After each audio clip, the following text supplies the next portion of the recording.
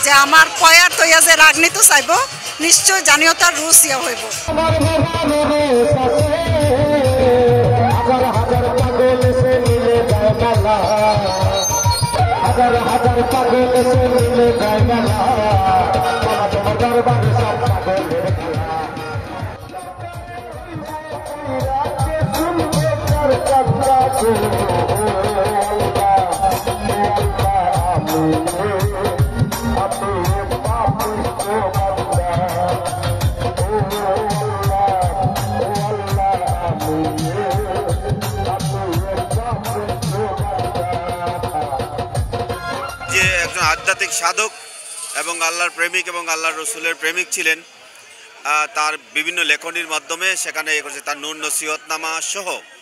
এবং অসংখ্য তার গান আছে, বিভিন্ন মানুষ তার গান নিয়ে তাদের নামে এটা প্রচার করছে। আসলে সৈয়দ শানুরের সেভাবে প্রচার হয় নাই।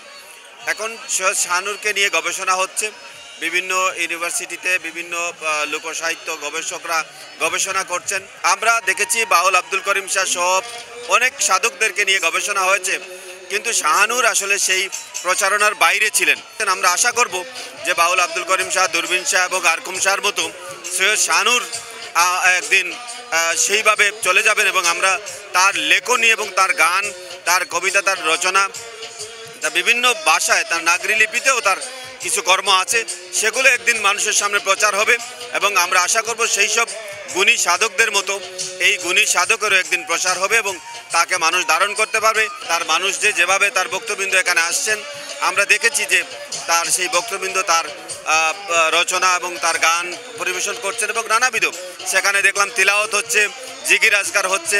এই যে বহুমুখী প্রতিভার অধিকারী সৈয়দ শাহানুর শাহরুর রহমতুল্লাহ আলাহি একদিন মানুষের জীবন দশে আরও প্রচারিত হবেন এবং তার জীবন থেকে নেয়া, নিয়ে মানুষজন তার জীবন পরিচালনা করবে, এটাই আমাদের প্রত্যাশা।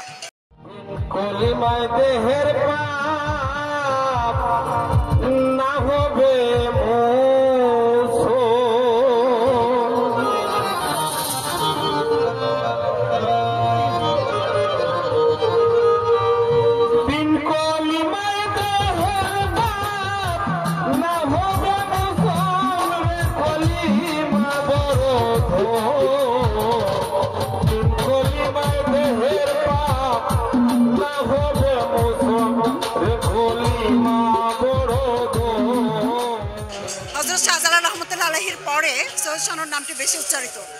এবং তিনি জন্মেছেন সতেরোশো তিরিশ সালে এবং মারা গেছেন আঠারোশো পঞ্চান্ন সালে। একশো পঁচিশ বছর তিনি আয়ু পেয়েছেন এবং এই আয়ুষ্কালে তিনি রচনা করেছেন অসংখ্য গান, বই, প্রবাদ, পয়ার সহ বাংলা সাহিত্যের বিভিন্ন শাখায় তিনি পদচারণা করেছেন এবং এটা আমাদের বিশাল সম্পদ।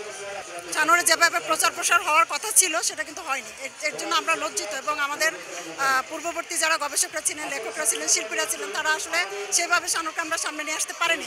এটা আমাদেরই ব্যর্থতা। তো আমি চাই আজকের এই লোকোৎসব শুরু হলো শানুর লোকোৎসব। এর মধ্য দিয়ে শানুর প্রচার প্রসারে আসুক। যত পীর আউলিয়া, সুফি, দরবেশগণ আছেন, যারা গান লিখেছেন বিভিন্ন বিষয় লিখেছেন, কিন্তু সৈয়দ শানুরের মতো একাধিক বিষয় কেউ লেখেননি। এটি হচ্ছে সৈয়দ শাহনুরের আলাদা করে কৃতিত্ব এবং আলাদা করে ওনাকে নেওয়া যাবে। আমি ওনার জীবনী এবং ওনার যত গান আছে এবং ওনার দর্শন নিয়ে গবেষণা করছে এবং এটি প্রথম ওনার জীবনী রচনা হচ্ছে। এবং আমি চাচ্ছি যে আমার বইয়ের মাধ্যমে নূর নসিহত, ওনার যে মূল্যবান গ্রন্থটি, অপ্রকাশিত পাণ্ডুলিপি, এটি যেন আমি পাঠকের হাতে, দর্শকের হাতে তুলে দিতে পারি। এবং এটি খুব মূল্যবান এবং গ্রন্থ, এবং তিনি কিছু নিষেধ করেছেন যে আমার পয়ার তৈয়া যে রাগনীত চাইব, নিশ্চয় জানিও তার রুচ ইয়া হইব। এটা তিনি বলে গেছেন। এই জন্য তিনি আসলে প্রচারে আসেন না এবং ওনার পাণ্ডুলিপিটা প্রকাশ হয় নাই। তো এই পাণ্ডুলিপিটা এখন আমার হাতে আছে। আমি চেষ্টা করছি এই পাণ্ডুলিপিটি সহ যত দ্রুত সম্ভব একটি বই প্রকাশ করার। অবশ্যই আমি নতুন গান করব। ওনার প্রকাশিত হয়েছে মাত্র চল্লিশ থেকে ষাট, আটষট্টিটা গান ওনার বইয়ে এসছে। আর বাকি প্রায় আড়াইশোর মতো গান আমার কাছে আছে এবং এর বাইরে বই আছে, প্রবাদ আছে, তারপরে আছে রাশি বিচার, কেমন নারী বিয়ে করলে কেমন হবে আর কি, এই বিষয়গুলো আছে। তারপরে আছে প্রেমাখ্যান। এবং গৃহজামাতার বিবরণ। ওনাকে নিয়ে আমি মূলত দু হাজার নয় সাল থেকে লোক সংস্কৃতি নিয়ে মানে সিলেটে কাজ করছি, বৃহত্তর সিলেটে। এই কাজ করতে করতে আমি শাহনুরের নাম পাই এবং ওনার সঙ্গে আমি পরিচিত এবং যেখানে যেতাম, যেমন আমি ধরুন হাসুন রাজাকে নিয়ে কাজ করতে গেছি, সেখানে আমি শাহনুরের গান পেয়ে গেলাম, আমি সেটা নিয়ে নিয়েছি, শাহনুর সম্পর্কে জেনেছি। আমি রাধারমন নিয়ে গেলাম, সেই গ্রামে রাধারমনের গ্রামে আমি পেয়ে গেছি। অর্থাৎ শাহনুরের বিচরণ ছিল বৃহত্তর সিলেটে। উনি জন্মেছেন মৌলভীবাজারে। উনি জীবনের অধিকাংশ সময় ছিলেন সুনামগঞ্জে, জগন্নাথপুরে। এবং তিনি মারা গেছেন সেই হবিগঞ্জের, নবীগঞ্জের এই জালাল সাপে। এই যে ওনার পদচারণা, এখানে জায়গায় জায়গায় ওনার চৌষট্টিটা বাড়িয়ে রয়েছে এবং এগুলো ওনাকে মুরিদ্রা করে দিয়েছেন। সঙ্গীতে পড়াশোনার সুবাদে এই গীতি কবিদেরকে নিয়ে আমার একটু পড়াশোনা করার সুযোগ হয়েছে। আমি আমার পড়াশোনা জীবনে যা বুঝতে পেরেছি আসলে, আপনি শাহ আব্দুল করিম বলেন, হাসন রাজা বলেন মরমী সাধক রাধারমন দত্ত বলেন, দূরবীন শাহী বলেন, জালাল খা বলেন, আব্দুর রশিদ সরকার বলেন, শ্রদ্ধেয় উকিল মুন্সি বলেন, অথবা আজকে আমি যেই মেলায় আছি, শ্রদ্ধেয় শাহানুর রহমতুল্লাহ আলাইয়ের কথা বলেন, সকলেরই তাদের আবেগ দিয়ে অথবা তারা তাদের সৃষ্টি দিয়ে বোঝাতে চেয়েছে যে পৃথিবীতে মানুষই সর্বশ্রেষ্ঠ। মানুষের উপরে আসলে কিছু নেই। এবং সৃষ্টিকর্তাই মানুষকে সর্বশ্রেষ্ঠ জীব করে বানিয়েছেন। এই কারণেই হয়তো যে মানুষের ভিতরেই উনি নিজে বাস করেন এবং প্রতি মুহূর্তে মানুষ চাইলেই তার সৃষ্টিকর্তার সাথে যে কোনো ধরনের মনের আদান প্রদান তিনি করতে পারছে। তাদের এই ভাববাণী দিয়ে মূলত সকলের মোটিভই এক, বোঝানোর চেষ্টা যে এই পৃথিবীতে মানুষের চেয়ে বড় আর কিছু নেই। ও তোর লাইগা রে বন্ধু। তোর লাইগা রে আমার তনু জর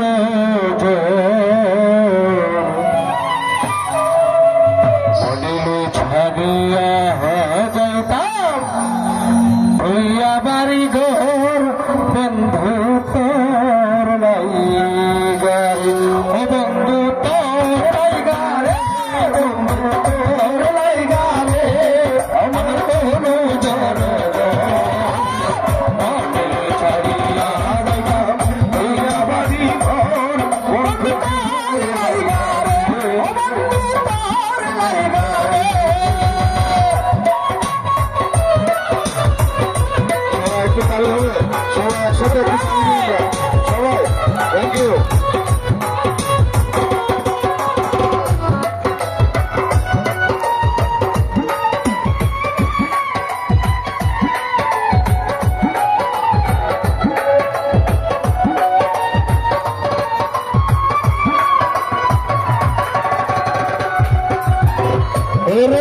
জঙ্গলার মাঝে বানাইয়াছি ঘর।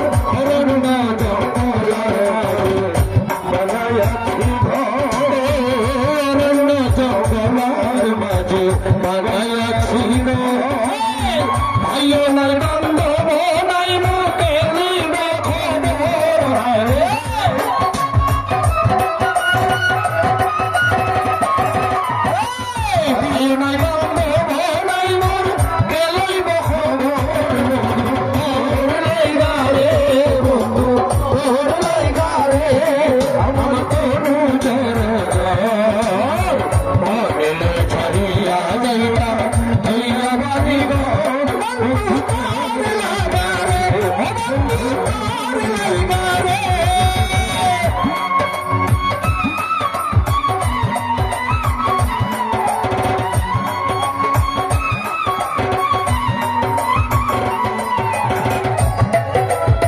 একটু তালি হবে একসাথে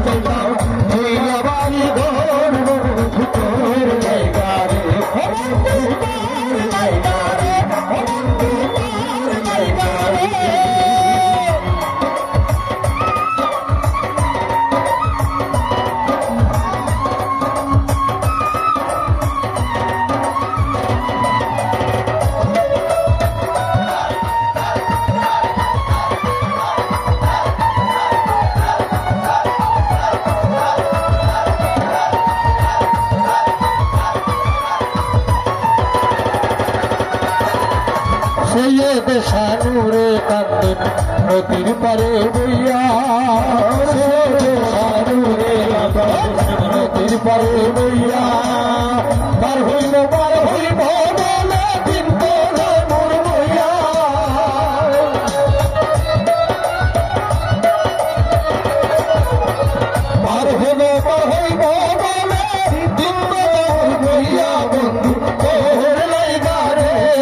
Oh, oh, oh.